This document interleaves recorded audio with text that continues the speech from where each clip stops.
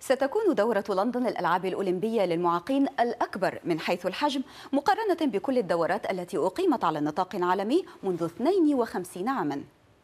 يشارك في دورة لندن للألعاب الأولمبية للمعاقين نحو 4200 لاعب ولاعبة ينتمون ل 166 دولة وسيخضع أكثر من ربعهم لاختبارات الكشف عن المنشطات.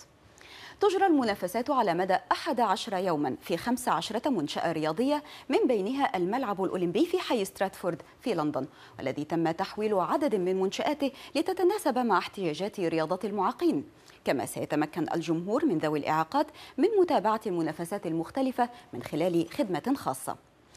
يتنافس اللاعبون واللاعبات في عشرين رياضة مختلفة بالإضافة إلى رياضة كرة الهدف التي يتبارى فيها المكفوفون بكرة ذات جرس.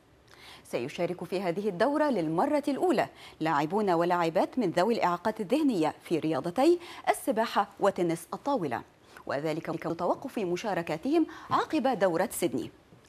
أنشأت اللجنة المنظمة ورشة تحتوي على أكثر من 15 ألف قطعة غيار لإصلاح الكراسي المتحركة والأطراف الاصطناعية والأجهزة التقويمية.